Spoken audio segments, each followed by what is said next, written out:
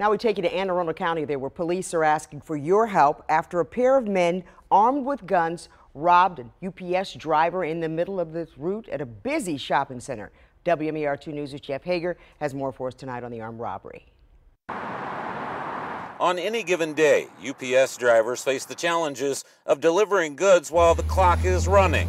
But it all came to a stop when a driver was robbed of packages here at the festival at Riva Shopping Center in Annapolis on Wednesday. Unbelievable. Can't believe it. So, what's the world coming to?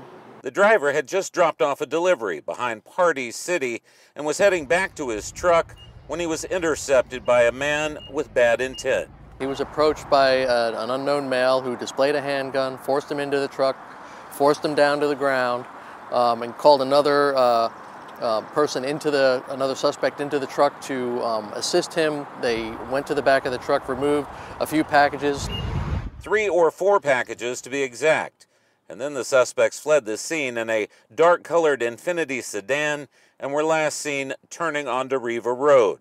Why the two men would strong arm a delivery driver for random merchandise baffles police. They're using a gun to get something that they don't know what they're getting. But they raised the stakes way beyond any shoplifting or porch thefts, risking lengthy prison sentences in the process. And I guess it doesn't matter to them as long as they get something. But was the person safe? That's a, God bless them. God bless them. If you happen to see anything at the shopping center out of the ordinary on Wednesday, or if you have any information about the robbery, the suspects, or their vehicle for that matter, you're asked to call the Anne Arundel County Police at 410 222 4700. Reporting in Annapolis, Jeff Hager, WMAR 2 News. And police